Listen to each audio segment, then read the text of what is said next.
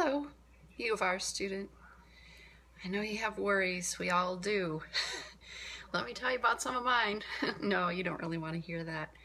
Um, what I wanted to tell you this morning is that um, the University of Rochester has some wonderful staff, especially at the library, and we're happy to answer any questions that you have about where your classes are. We can help you find resources to help you succeed in your classes.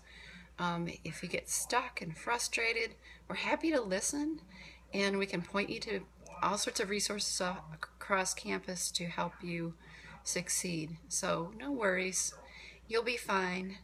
Just get on in there and do your best and come to the library and ask questions if you need to.